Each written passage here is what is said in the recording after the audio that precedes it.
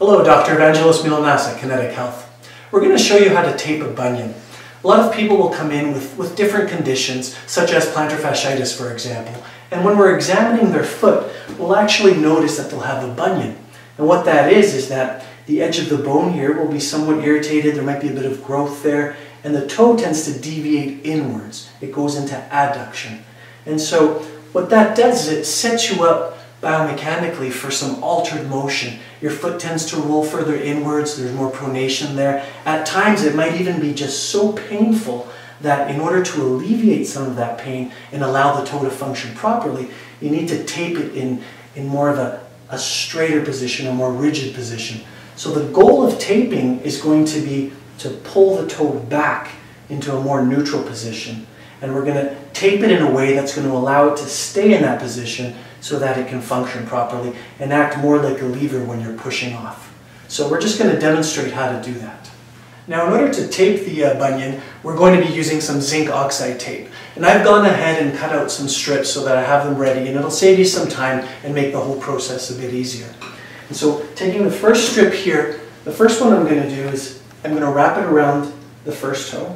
And this is going to act as a bit of an anchor for some tape later on.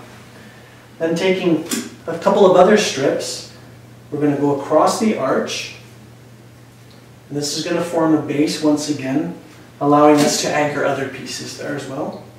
So we're just placing them side by side so that they overlap a bit. Make sure the tape's nice and secure. Okay. Now this next part, this is where we'll be pulling the toe back. So we're bringing it from an adducted position where it's in to a more abducted position, but somewhat neutral. So we want to make sure when we tape this that you're supporting the toe and that you're pulling it away from the other toes. And we're going to lay a strip, actually just one second, I'm going to anchor it first, pulling the toe into position, and then we're bringing it across. Make sure it's nice and secure. Okay. And now we're going to reinforce that with a couple of more uh, pieces of tape here. So you're going to bring these here. And while you're doing this, think of the anatomy. Visualize, you know, the tendons, the musculature, what it is you're trying to achieve. So we're pulling things into abduction slightly. And then the last piece here, we're going to bring more on the superior side, bring it back down, making sure that it all sticks together. Okay, good. So the whole time you're making sure that you're maintaining this toe in a slightly abducted position. Okay. Now we're going to reinforce with a few more strips across the arch. Here's one. And then lastly, one more strip around the toe, just to anchor everything into position.